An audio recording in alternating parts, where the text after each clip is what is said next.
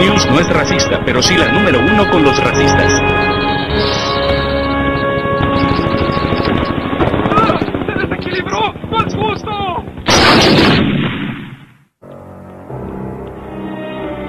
Quiero llamar al orden a este cónclave secreto de los medios del país. Estamos aquí para inventar la próxima crisis falsa que pondrá a los ciudadanos donde deben estar, en cuartos oscuros, pegados a sus televisores, aterrados de saltarse los comerciales. Bueno, creo. NBC, estás aquí para escuchar, no para hablar. Hay que recurrir al clásico susto de salud pública.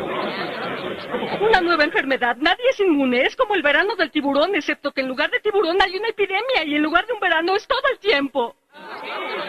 Detesto ser el sujeto que mata todo lo que los demás aman. Le encanta ser ese hombre. Pero, Janice, tenemos normas. No puede ser una enfermedad inventada. Lo único ético que hay que hacer es liberar un virus mortífero entre el público. Aquí hay algo que estábamos guardando, pero no ha sido probado. Ven aquí, NBC.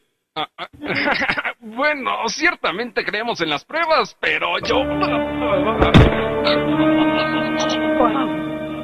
¡Oh, sí! Ya tenemos nuestra enfermedad mortal. Ahora solo debemos culpar a algo que esté en todas las casas, algo a lo que el público le tenga miedo. Ya viene la influenza de gatos, amigos. El Centro para Desinformación predice que la influenza de gatos caseros podría esparcirse en el siguiente patrón hipotético de epidemias. Así que estén alerta, ese cálido cuerpo sobre su regazo podría estar listo para destruir sus tiernas entrañas. ¡No! Los habitantes de Springfield deben esperar más información si experimentan los siguientes síntomas. Sed leve, hambre ocasional, cansancio por la noche. Hamburguesas Krusty. ¿Saben? No sé si esto alguna vez fue una buena idea.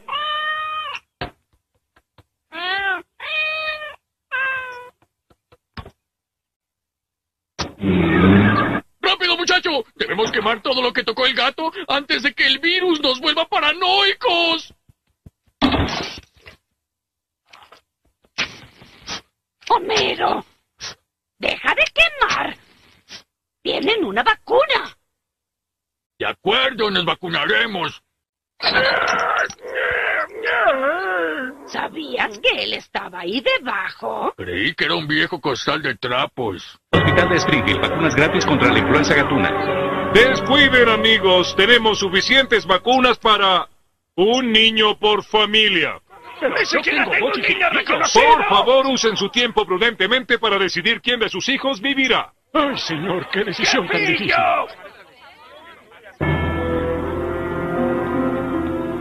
Esta no es la línea para una película. ¿Por qué usas ese disfraz? Verá usted, le temo a las agujas, pero Wolverine no. ¡Split! ¡Split!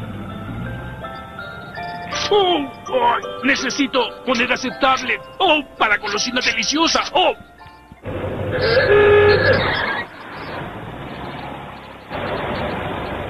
¿El señor Burns? ¿A dónde va?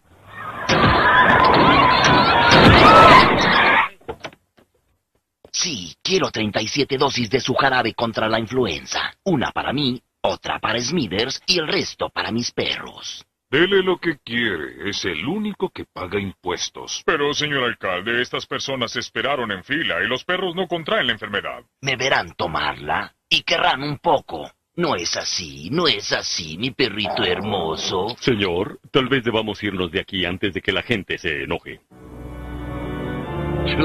Sube al auto, yo conduzco.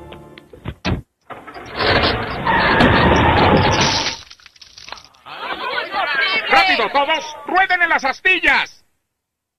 ¡Vamos, así!